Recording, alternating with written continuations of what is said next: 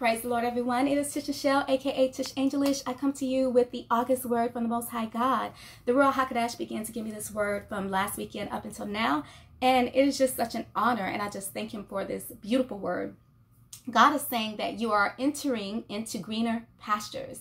Oh, yes, my friends. He said that we have entered into a season in which many who have seen defeat will begin to exceed and succeed and excel in certain facets of life. I saw so many blessings pouring on this earth, and this will not be the same for each and every one of you, but uh, for many of you, okay, uh, maybe some of you are okay in one area and you just need God to work out some other areas. So this won't be the same for everyone. But He's pouring out blessings. He's pouring out the green pastures in which things that have been difficult, uh, you will now begin to make progressions and excel and exceed where you have seen defeat. God is going to flip that thing and turn it around into succession. Okay. Um, and I saw every facet of life. These are the blessings that God is outpouring on many of his people in the body of Christ. Okay. He's saying, yes, all facets, the health, love life. Oh, yes. I even saw the love life. Mm-hmm. Um, and again, this won't be for everyone, but it, this may be for you. I literally heard, now you just met that person. I heard, um, you may as well go ahead on and plan your wedding because the person that you just met, yeah, that's the one. Oh, yeah, maybe you've had some difficult relationships. Maybe you have had failed marriages or failed relationships. But God is saying that some of y'all just met the one. And it's not that He wants you to just go ahead on and start planning. But what He's saying is, surprise, surprise, yeah, do you not know that it may seem that it's too good to be true? But uh, for some of y'all, I believe some of y'all have just met the one. So again, this word won't be the same for everybody. But some of you guys have just met the one. Mm-hmm. I literally saw that. Um, I saw that all areas of life are life balance. Many who have had certain aspects that were unbalanced or upside down Okay, uh, maybe it seemed like you've had no help. You were in a season that you needed help and you didn't have no help.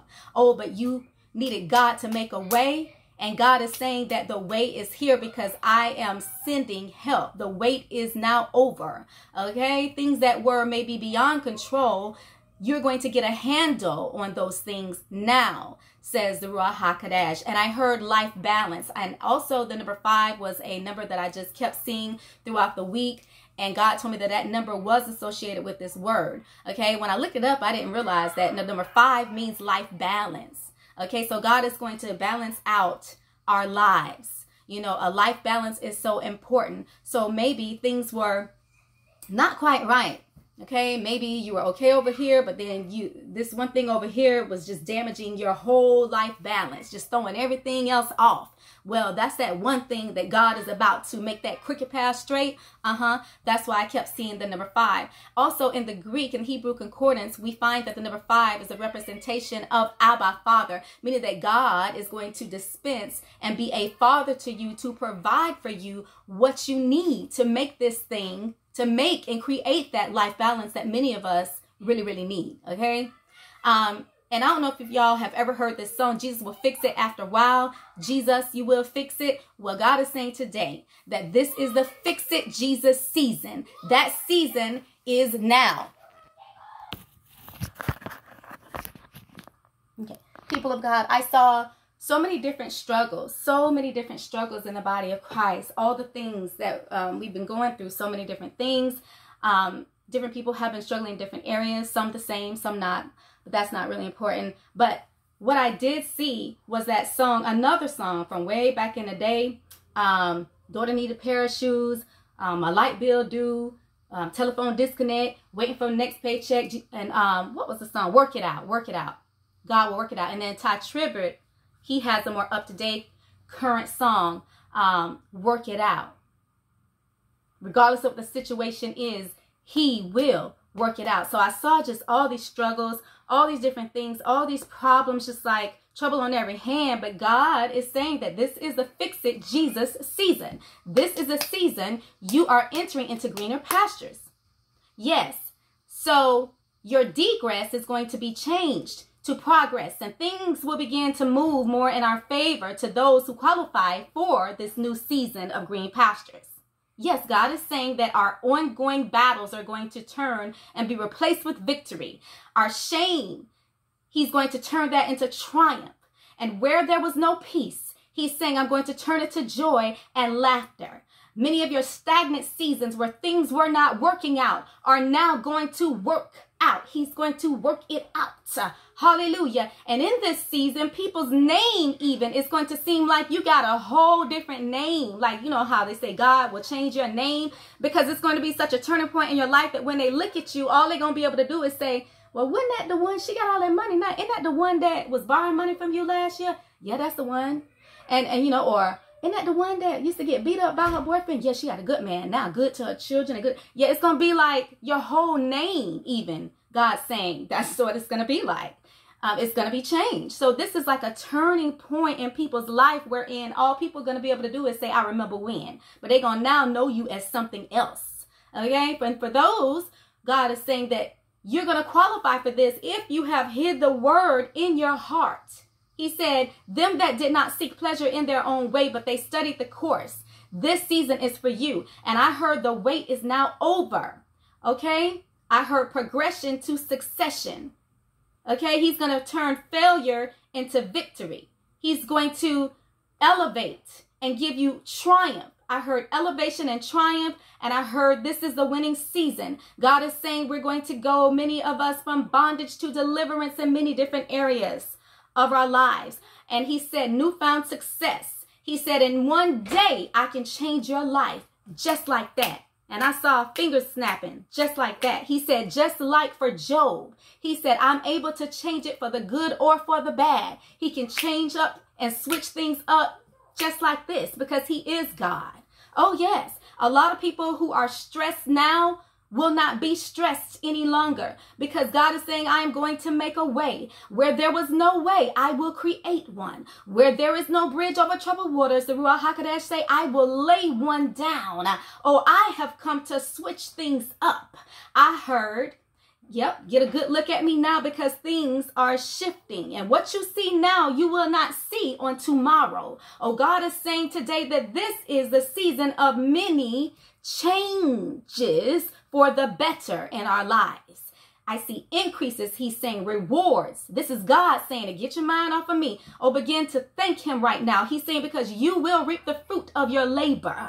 I heard first fruits and he said in a moment, this will be a season of time of happiness, togetherness, what you have been dreaming for, and many of you, what you have lived for. He's saying this is going to be a season in which you can finally exhale, okay, and relax because some of you were at the end of the road. He said you did not have no relief.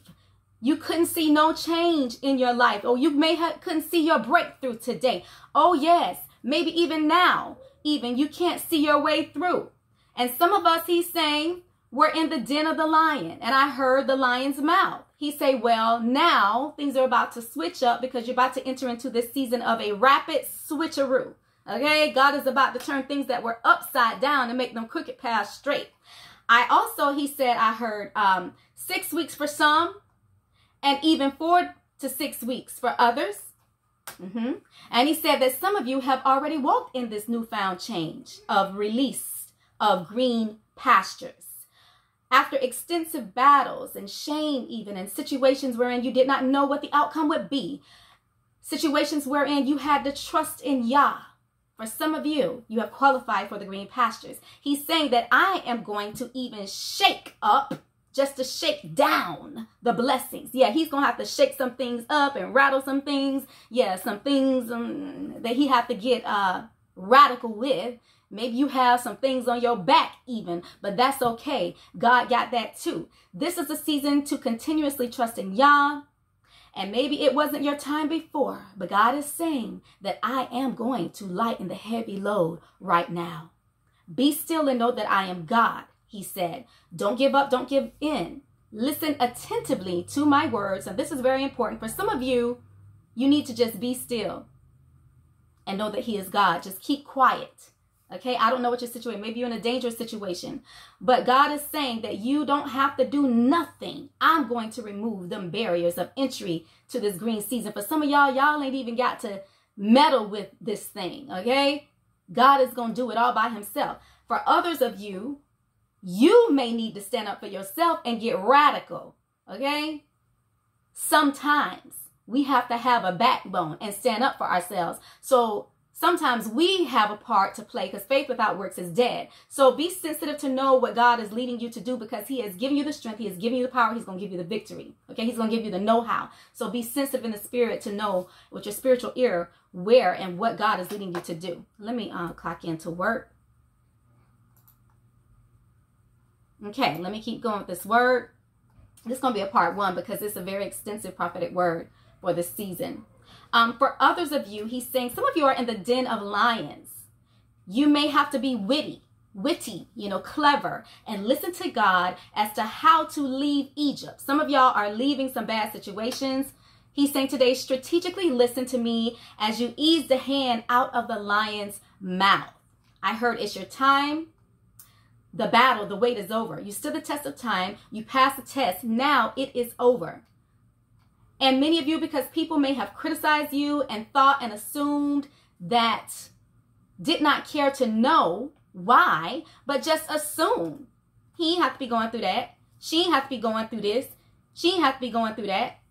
Or he don't have to go through, they don't have to go through that this or whatever. You know, um, many times people don't understand. I heard people just don't understand many of my people's struggle. That is what God is saying. Many people don't understand your disappointment, some of you, your losses, your hindrances, even. Maybe you were in a season of a, it felt like a hindrance zone wherein I can't get up, I can't go around it, I can't, I, it's just, I'm blocked. Some of you have felt literally blocked. But God is saying today, it was sealed this way.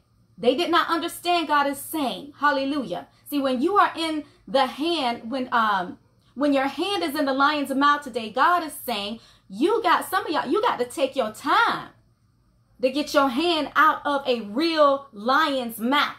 Hallelujah.